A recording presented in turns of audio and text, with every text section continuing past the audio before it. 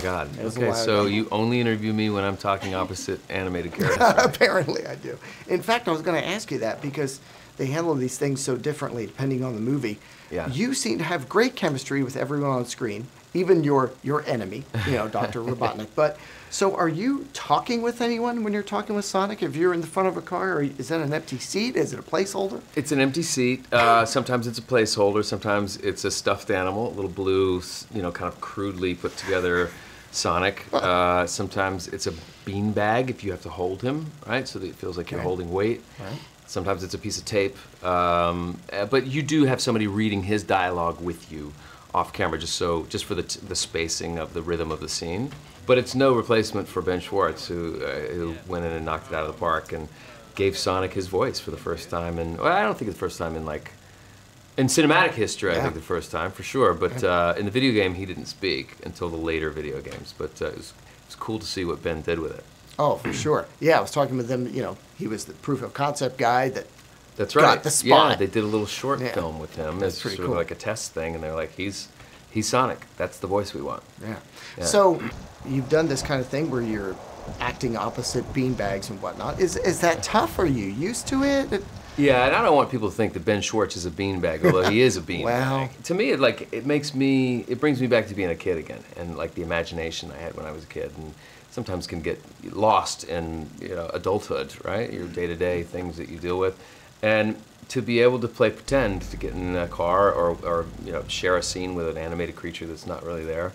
You go and I delve into my mind's eye, and I see, you know, I see a 12-year-old kid who's like, I have three kids, and um, my the most fun th- time I can have is diving into their world and being present with them, and like so, it's it's a kind of fun thing to be you know driving down the road in this truck, talking to you know this like hyperactive, curious little wide-eyed, innocent, sarcastic little creature, and I get to just sort of imagine what that would be like, you know, and uh, and you know let the, your imagination take over.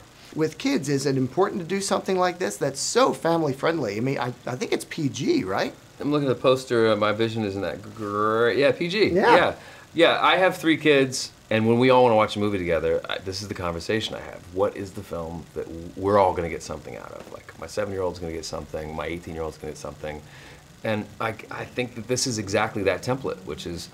I grew up playing the video game, watching and loving Jim Carrey and like idolizing his work. Um, so the older people are going to love that, right? Feel the nostalgia of this iconic video game character coming to coming to life on the screen. The kids are going to love it anyway, right? Because it's action, it's fast, it's this little uh, superhero, basically, little blue cute superhero. I just think the humor is there, the heart is there. It's just kind of for everyone. Yeah, it's got everything action, f- heart, humor. It's really funny. Yeah, good. And it's like, and not three hours, no, right? no, Enough with the three-hour movies. No, we don't need them anymore. That's true.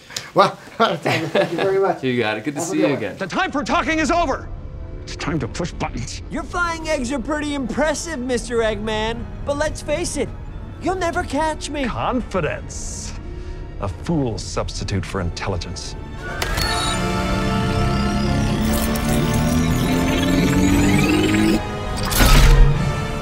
That's not good. Uh, Sonic, I know you got the super speed and everything, but Maddie and I, totally defenseless. Probably gonna get blown up. Pretty much, yeah. Don't worry, I know exactly what to do.